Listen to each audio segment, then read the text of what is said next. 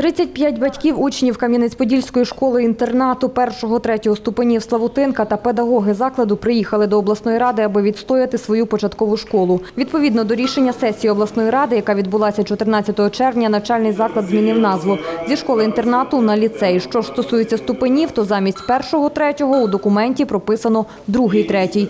Батьки і вчителі кажуть, через цю зміну з 1 вересня 210 дітей не зможуть навчатися у початкових класах Славутинки. Діти, які почали навчання за програмою поглибленого вивчення, обов'язково мають завершити це навчання, а, а вони залишаються на призволяще і мусять шукати десь інші школи, а враховуючи, що на 70 дітей з сільської місцевості, де вони знайдуть такого рівня школу.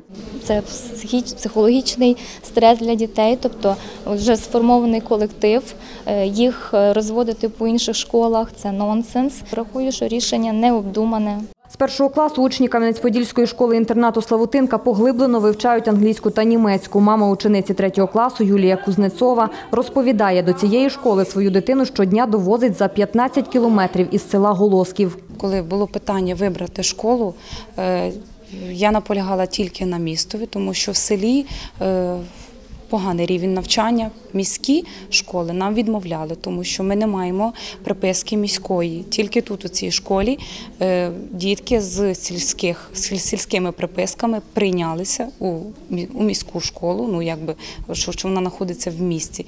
І найбільше, що мене здивувало, що там вивчають різні мови. За словами виконуючого обов'язки директора навчального закладу Олени Козлової, під час підготовки проекту рішення про перейменування, яке виносили на сесію, йшлося про заміну словосполучення школа-інтернат на ліцей без зміни ступенів. Це погодив департамент освіти і науки облдержадміністрації та п'ять постійних комісій облради. Зміни внесли члени постійної комісії з питань бюджету та фінансів. Їх 52 голосами підтримали депутати на 19-й сесії. ми е, до сьогоднішнього дня незаконно взагалі фінансували перший ступень. Відповідно до реформи, перший ступень повинен фінансувати органи місцевого самоврядування.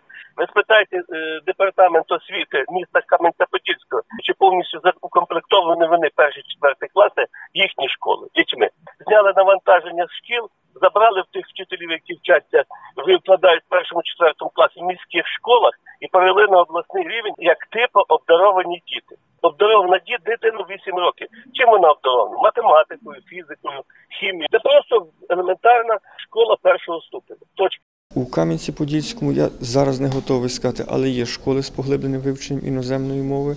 Ну але я сумніваюся, що вони всі зможуть е, ну, цих дітей забрати е, у свої класи безпосередньо на навчання.